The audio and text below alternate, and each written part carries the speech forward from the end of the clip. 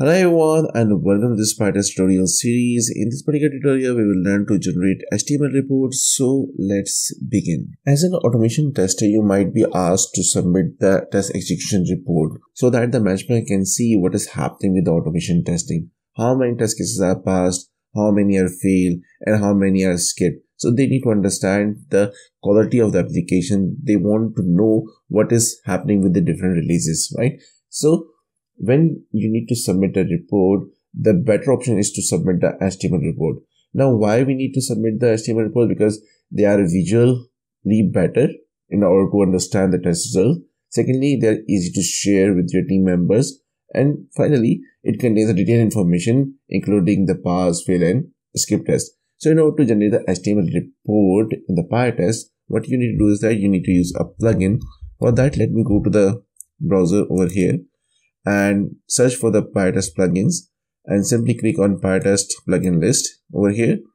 And just search for HTML and here if you go down so this is PyTest dash HTML so this plugin is for generating the HTML reports okay?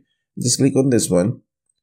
And it will take us to this page and this is how we can install this one. And if you go down so you can you can see that we can get this kind of a screenshots or images to understand that okay now if you here you see that we get the proper information what is getting failed how many test cases got executed where they got executed right? So let's go back over here and let's install this one. So simply what you need to do is that pip install pytest-html copy this one and just go to the pycharm over here into the terminal paste this command press enter. So it will install the pytest html plugin in your project. Now what i need to do is that i will go here and create a simple file. Let me name it as html so what I will do here is that I will create some basic test and I'll show you that how this uh, report will be generated. So what I'll do is that simply create very basic test. I'll say test underscore add and I'll say for example result is equals to 2 plus 3 okay. And I will say print. Then I'll say result is and here what I need to do is that I will pass the f string the variable result over here. Okay. And now I will simply go with the assert and say result result is equals to 5 so in this case this test case will actually pass over here. Okay? And in a similar way let me create one more test case over here. And I will name it as subsection. So instead okay let me go with 12 minus um minus minus 2 which is basically 10 okay? The result is 10 over here. And now let me create one more test just for the just to see the failures okay? Test underscore fail. And here I will say 12 multiplied by 2 is basically 24 and here it should fail okay and what I'll do is that let me write some details so that we can see more details in the report.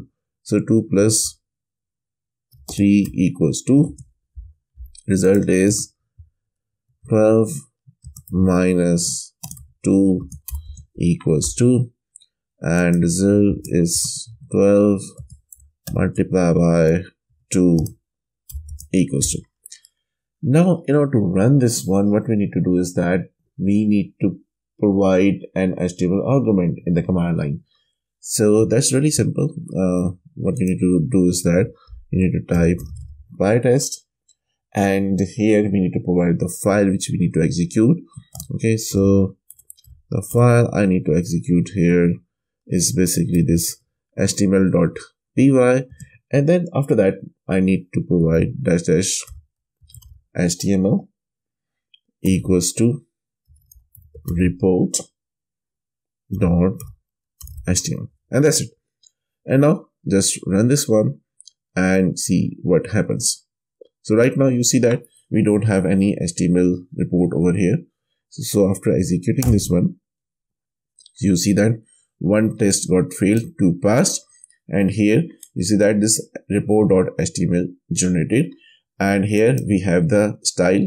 Basically it's a css file for the html one and here what i'll do is that in order to open this html report just right click on this one and you need to go here open in. So you have multiple options. You can open in the explorer. You can open into the browser right? So if we go here into the browser so you see that i have a built-in preview here as well. You can open in, in the firefox edge okay? So let me open in the built-in preview first. So this this is how this uh, reports look like. You see that uh, the python version the platform the packages i'm using okay and the summary. Here you see that i can filter this one. Okay this is the failed one. This is the error one. And these are the past one. If I click on the past one you see what got passed. So this this is a very useful HTML report which you can share with the stakeholders. And now in order to open into the browser uh, so simply go here again and open in the browser let's suppose I'm opening into Firefox now this is open into the Firefox so so this is how you can generate an HTML report using this PyTest HTML plugin. Thank you so much for watching this tutorial. If you like our content, then do like, comment, share and subscribe our channel. Once again, thank you so much and see you in the next tutorial.